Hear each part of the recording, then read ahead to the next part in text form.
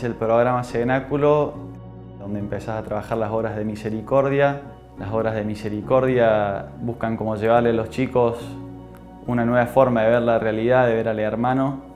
Y veo como muy, muy clara la obra de Jesús en, en la alegría que te da y en el gozo que hay en salir de uno mismo en hacer las cosas por amor hacia los demás, por buscando la gloria del Señor, te da una alegría y un gozo en el espíritu impresionante. Este sexto año fue muy distinto, no solo desde la virtualidad, sino que eh, nuestra conexión con el Señor y nuestra, nuestro camino de fe se basó en la profundidad, en el conocer, en el aprender, a perseverar, a ser constantes, a tener una relación con el Señor mucho más íntima, mucho más personal apoyarse en María, apoyarse en los santos, pudimos verdaderamente conocer y hoy puedo decir que, que, el Señor está conmigo en cada paso y en cada pequeña acción que yo puedo llegar a estar haciendo en el día a día. Verdaderamente considero que esos miércoles eh, son mi fin de semana.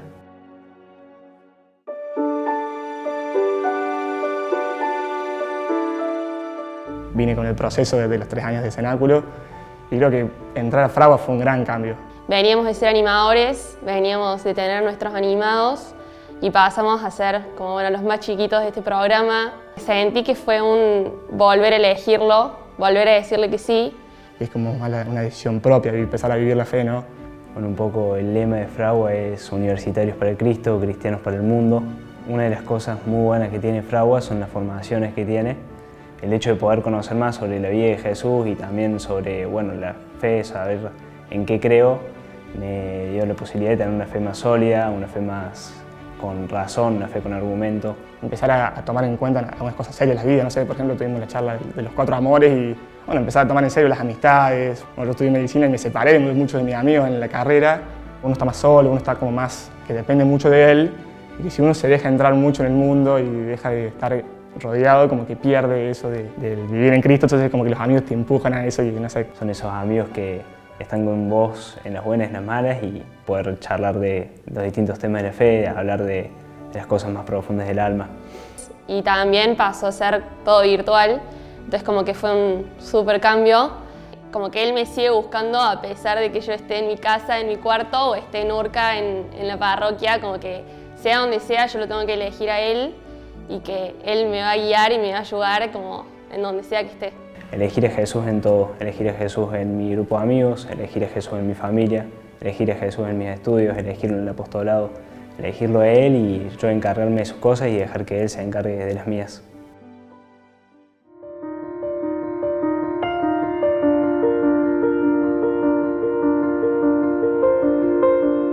Eh, hace un año y medio que estamos casados con Vir. Nos conocimos justamente en una Pajo Joven, ya hace algunos años en el 2011 y la verdad es que este programa día a día nos sorprende, nos forma y nos une para hacer un matrimonio cada vez más orientado hacia Jesús. Cuando Jesús envía a sus discípulos, les dice, ustedes han recibido gratuitamente, den también gratuitamente. Bueno, nosotros tuvimos la suerte de hacer todo el paso desde Cenáculo y después en Fragua y ahora, bueno, llegó el momento en el que tenemos que devolver todo eso, entonces estamos intentando hacer eso, devolver un poco gratuitamente todo lo que hemos recibido de la Sociedad de San Juan y bueno, y de Jesús también. Los dos tenemos la bendición de tener apostolados que, que no se detuvieron, digamos, por la virtualidad, sino que hubo que buscar una vuelta de tuerca y bueno, esa certeza grande de que el Señor se hace presente por todos los medios sin detenerse, digamos, que Él quiere llegar hasta los confines de la tierra y se las va a ingeniar para hacerlo con las herramientas que existen, digamos. Este espacio, por nuestros apostolados, se fue convirtiendo en distintos escenarios. Por momento era esto era una misa, era una iglesia en la que había misa, por momentos había una hora santa, se rezaba un rosario, después de golpe se transformaba en un aula de catequesis, de golpe se convertía en un estudio de grabación en el que hacíamos un podcast. Eso obligó en algún punto a decirle a Jesús, bueno, venía a nuestro hogar. Y en esta casa se rezó muchísimo más de lo que se hubiese rezado en cualquier otro momento, porque Jesús golpeaba la puerta y lo dejamos entrar.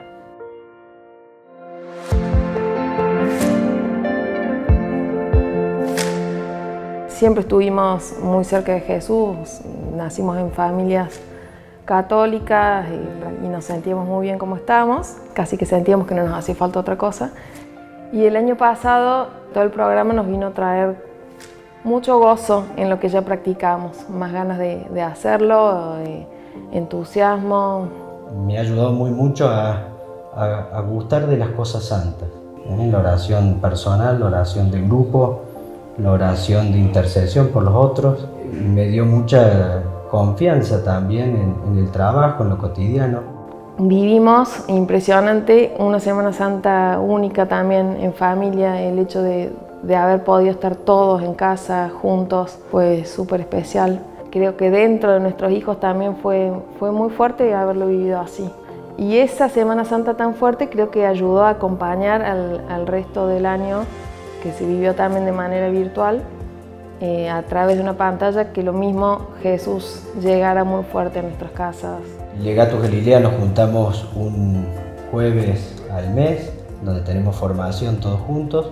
Los temas de formación eran como si providencialmente hubieran estado preparados para enfrentar las dificultades que iban a presentarse este año en lo laboral, en lo familiar, en el mundo. ¿no? Así que cuando uno vive esto con tanta alegría y siente que, nos ha hecho tanto bien como persona y además como, como matrimonio y como familia, uno quiere proyectar esto hacia, a, los otros, ¿no? a, los que, a los que más querés y también a los que pensás que les puede hacer muy bien y hacer falta. en definitiva, el programa Legato Galilea y la Sociedad de San Juan han sido y son un medio que nos han acercado más a Jesús.